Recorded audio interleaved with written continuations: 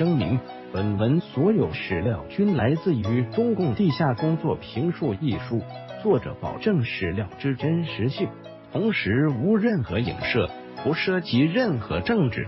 在青楼文化，董竹君如同所有的青楼女子一样，少时家境贫寒，就被自己的亲生夫妻给卖到了青楼里。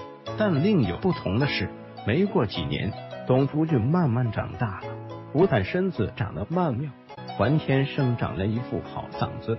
在青楼老鸨的悉心调教下，没过多久，董竹君就名噪一时。未见董竹君一面的人更是应接不暇，历史又是惊人的相似。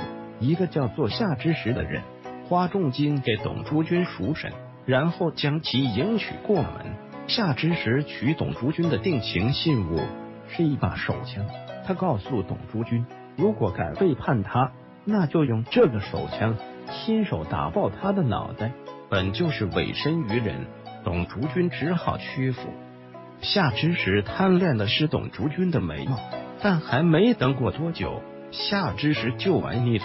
而且董竹君并没有给夏之时留下儿子，所以夏之时动则对其拳打脚踢。最后，董竹君在某一个不知名的商人帮助下离开了夏之时，然后带着自己的女儿在上海滩开了一家叫做锦江川的菜馆。如果深谙民国历史，还是一位老饕的话，对这家菜馆一定不陌生。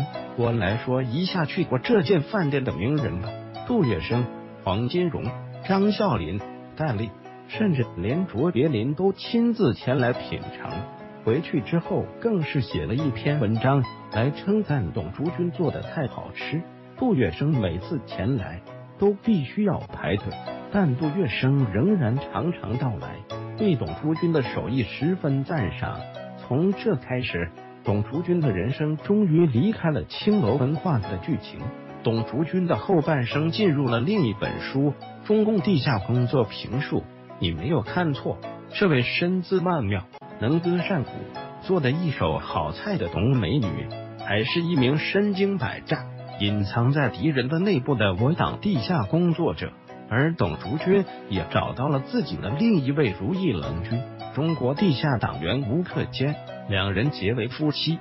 董竹君和吴克坚在饭店的掩护下，为我党收集情报，成为了我党的地下联络员。后来，董竹君因为身份被日本人怀疑，惨被抓获。不过，董竹君凭借迷人的外表以及手艺，很快让日本人打消了顾虑。将董竹君给放了回来。